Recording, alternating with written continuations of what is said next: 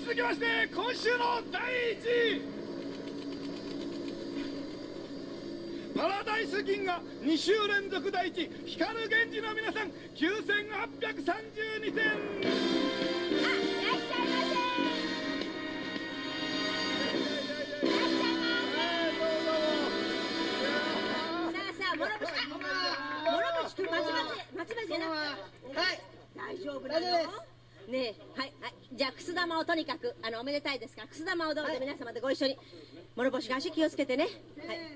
はい、ポーズ。はい、おめでとうございます。はい、というわけでございますけれども、はい、あのー今日もあのーこの TBS の周りはね、光源氏が特にいらっしゃる時には、もうお嬢様方が、私、これちょっと一時に用事があって、こっちへ仕事で来たんですけど、雨の中、たくさん待ってらしたのね。私が来た時もすごい言いました。なんか僕と大阪君と間違えたらしくてね僕の前にガンガン来ましたからね。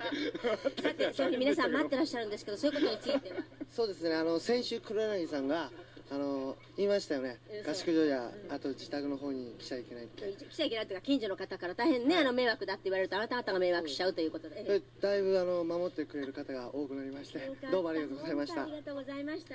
やっぱりあのテレビ局よりねあのうちでベスト10を見てもらった方が嬉しいですね。ですね。そうですよね。はい、それではお願いいたしましょう。じじゃあね、ちょっと高田さん、あなたご存知ないかもしれないけど、諸星君は今お辞儀してますけど、あの子はですね、両足折れてるんです。